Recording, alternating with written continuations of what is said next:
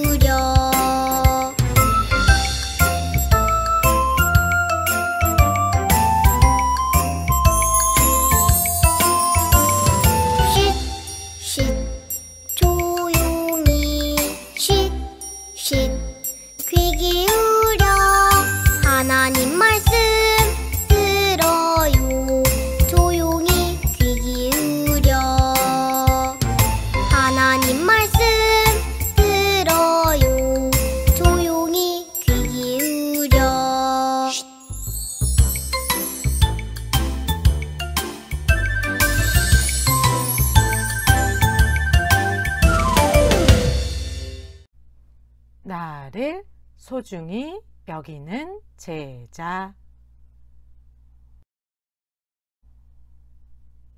너희는 너희가 하나님의 성전인 것과 하나님의 성령이 너희 안에 계시는 것을 알지 못하느냐.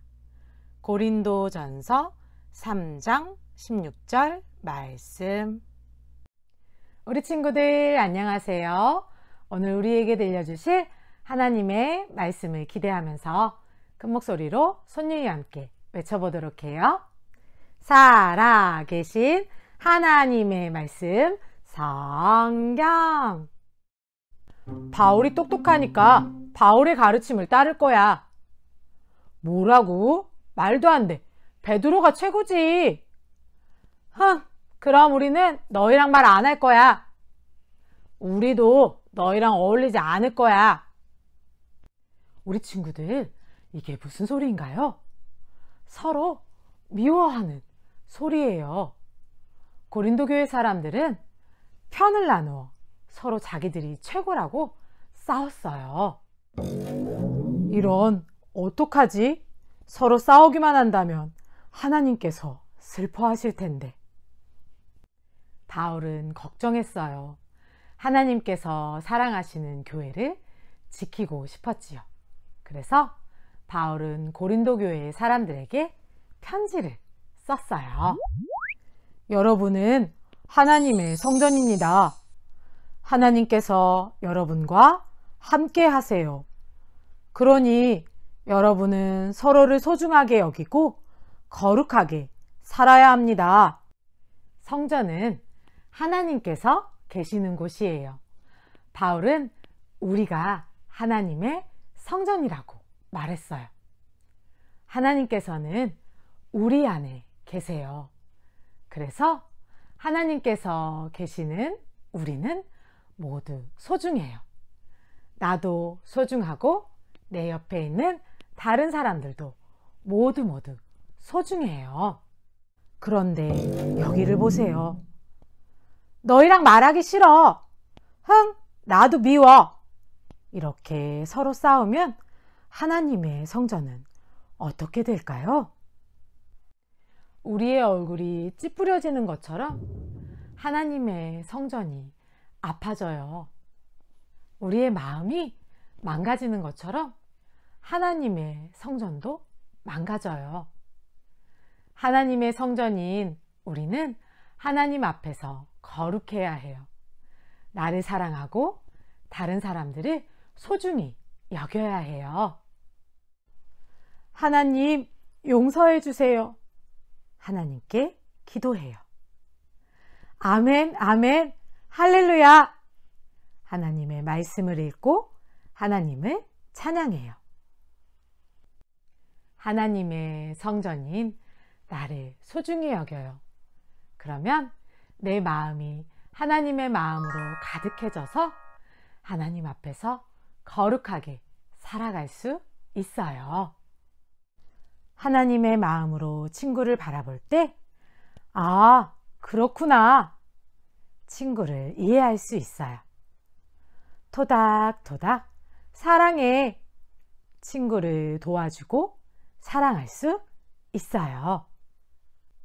하나님의 성전인 친구를 소중히 여겨요. 그러면 친구의 마음도 하나님의 마음으로 가득해져서 하나님 앞에서 거룩하게 살아갈 수 있어요.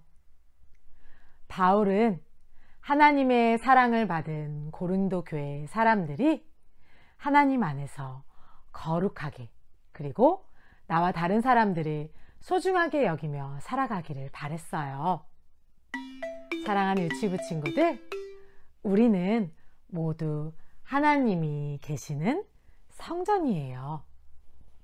그 사실을 늘 잊지 않고 기억하면서 나를 소중히 여기고 다른 사람들을 소중히 여기는 모든 믿음의 유치부 친구들이 다 되기로 해요. 그래서 언제나 하나님 안에서 거룩하게 살아가는 우리 유치부 친구들이 다 되기로 해요. 우리 시간 함께 기도하겠습니다. 사랑하는 하나님, 우리는 하나님이 계시는 성전이에요.